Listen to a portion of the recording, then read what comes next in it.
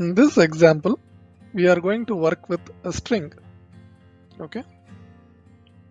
Let us create another program for and I'll say string string.py.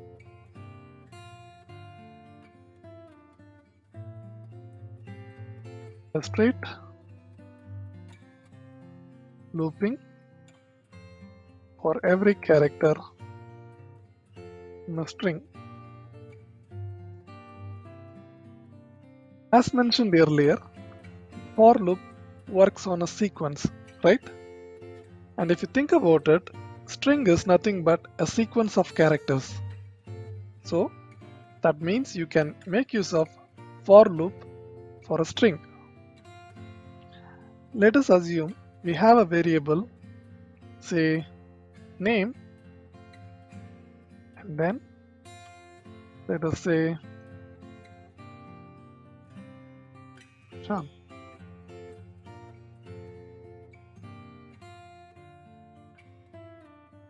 And if we want to execute a for loop for every character in the string, we can very well do that with the same for statement for then you need to provide a variable name that can hold every element in the sequence.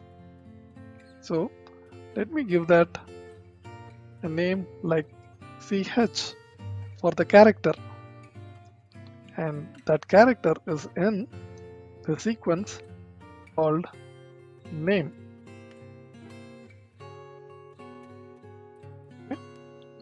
And that will be followed by a colon. And what do we do for every element in the sequence? We can give a set of statements. So let us just print for the time being. Print character being processed is and then quite ch. Let's save this and let us execute this program.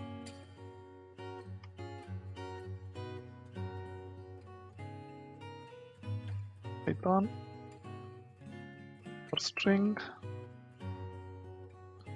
UI. See, every character is assigned to that variable ch one at a time and in each iteration that value is getting printed as we expected. Let us go back to the program.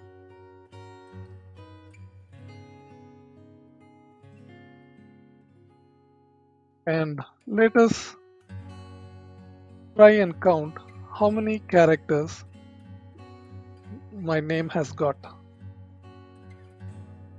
So if you want a counter, you have to initialize the counter, say with a zero. And for each iteration, we can increment the counter like this. Counter is equal to current value of the counter plus 1.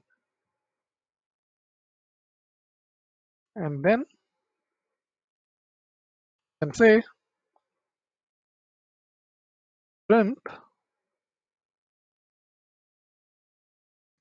characters counted so far.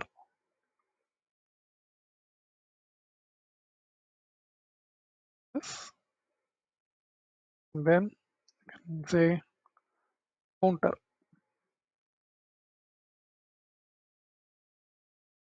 Okay. And since this statement is also indented, note that this will get executed for every iteration. And then after the for loop completes, I want to tell how many characters were there in total in the name. So I have to do that after the end of the for loop. So I need to stop the indentation and then I need to print. After all the iteration, the counter will be having the latest value, right? Because you are counting for every element and after the last iteration, the counter will be holding uh, holding the length of the string So you can say the number of characters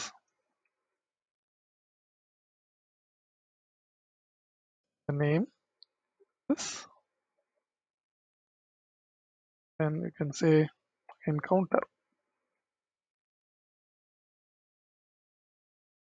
So note that this statement will only be executed once towards the end after the for loop is all completed. This will not be executed like four times or you know for every iteration because this is outside the for loop. How do we know that? Because there is no indentation. It is at the same level as the for statement. So this will just execute once. Let's execute this program. on for string.py. So we start with the character being processed as s and then the character counted so far as 1 and then it goes on to the next character which is h. Characters counted so far as 2 and then to the next character a. Character counted so far as 3 and then to the next character n. Characters counted so far as 4 and then after this for loop is all executed it goes outside the for loop and prints this statement. Number of characters in the name is and then it is the counter value that was last assigned so which is 4 hope this is very clear